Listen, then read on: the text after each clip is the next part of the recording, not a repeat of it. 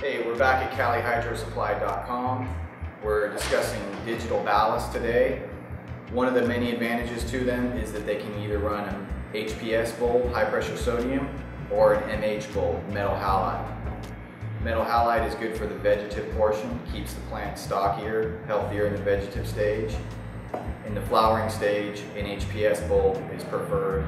It creates elongation, ripening, and dense flowering. The ballast can run either of these two bulbs. There's no switching required. These are other brands here.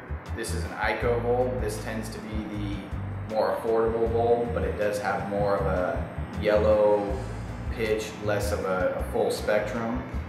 This is a 600 watt. This, however, is a 600 watt GE Lucalux, a much better bulb, creates a full spectrum, good for vegetative and for flower. You want to buy one bulb, this would be the one to buy.